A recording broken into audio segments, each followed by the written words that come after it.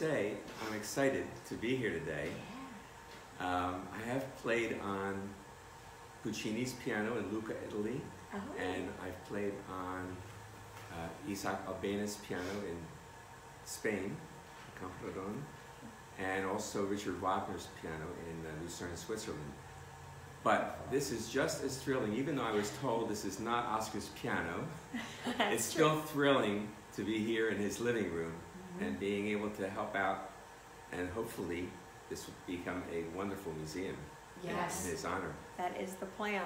I have grown up um, singing uh, Hammerstein music um, since I was really little. Um, so the chance to be here in this room is quite something. Um, and my grandmother has taught me uh, music from Rodgers and Hammerstein and all of the musicals, and um, it's pretty wonderful to be here. Um, Oscar's looking at us. I don't know if you can see, but he's looking at us up at the wall, and this is just a beautiful, beautiful room that hopefully you can see someday. We're happy to bring you Oscar's living room live and have this experience and see artists like this who really can value and feel the energy in this space and get further inspired. So thanks for getting here. I'll let you get over to the piano and do your magic.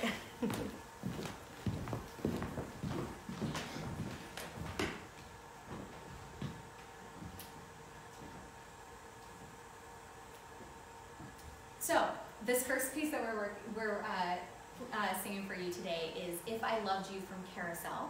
Uh, my character is Julie Jordan, and I am uh, singing with Billy Bigelow, and we're, um, this is actually originally a duet, and um, we are singing about um, our feelings for each other without actually admitting it. Oh great. And it's a wonderful show.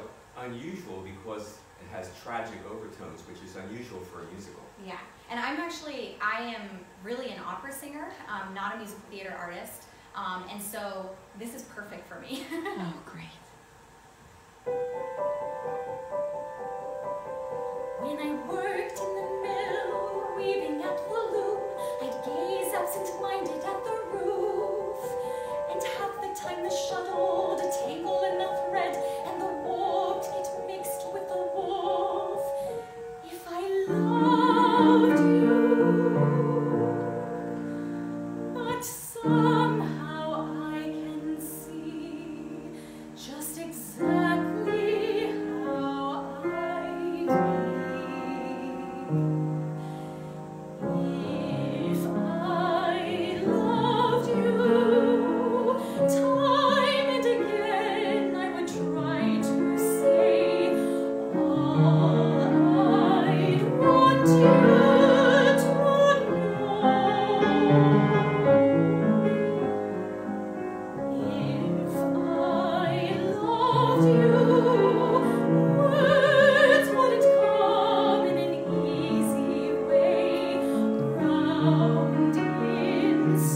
circles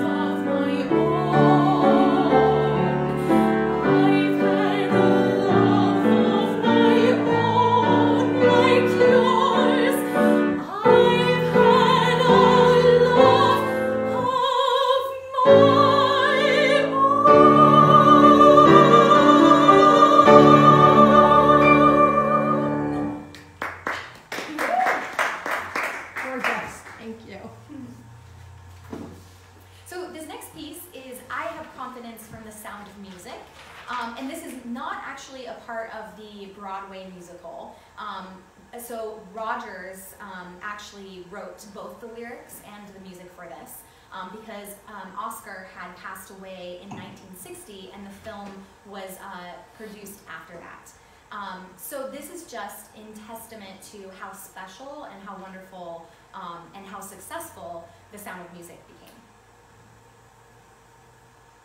I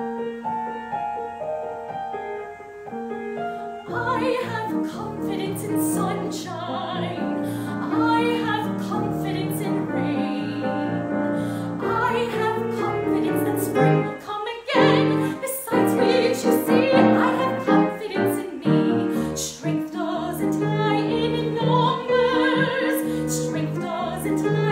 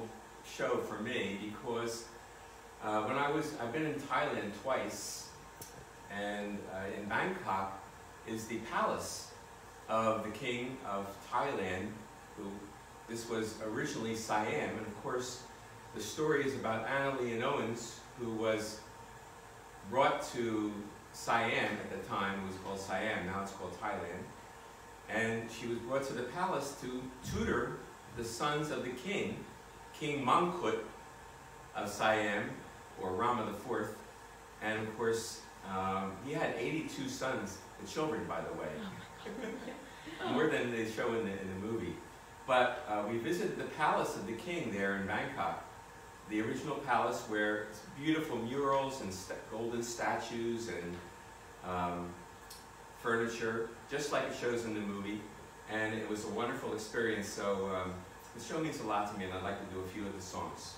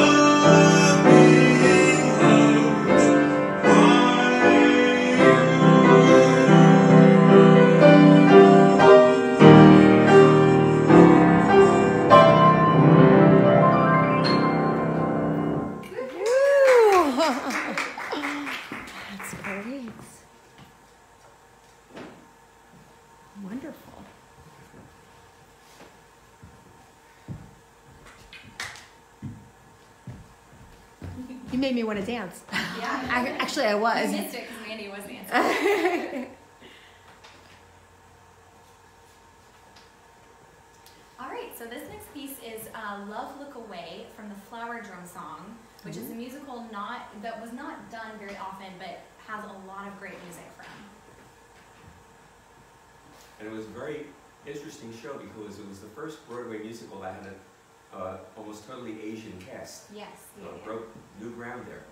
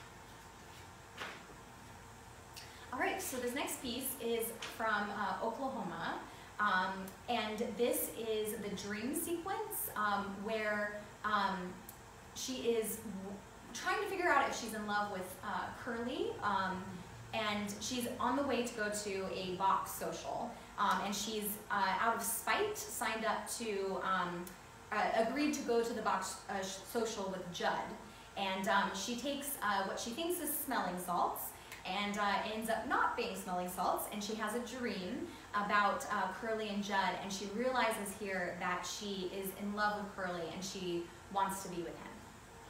By the way, Yeah. Oklahoma it was, was the first show that Rodgers and Hammerstein wrote together, and it was based on the stage play Green Grow the Lilacs. It was interesting because um, Oscar wanted to write this show, and at the time he was working with Kern, who did uh, Showboat with him. Yeah. He didn't, Kern didn't want to do it. And then, and um, Richard Rodgers was working with Lawrence Hart, Hart didn't want to work on it either. So they got together on this show, it was their first collaboration. And it was a su success, yeah. too. Mm -hmm. Yeah. Mm-hmm.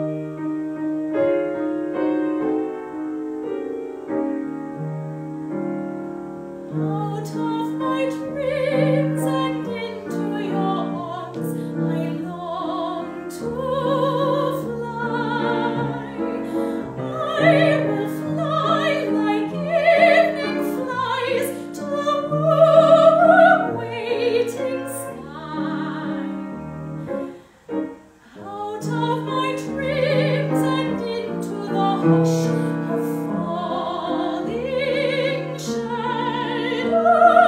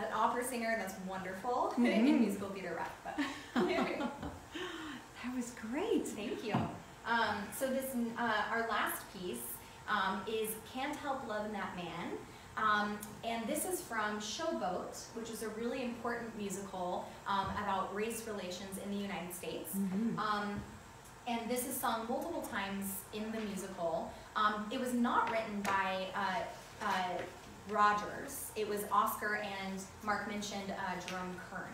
Um, yeah, great. Here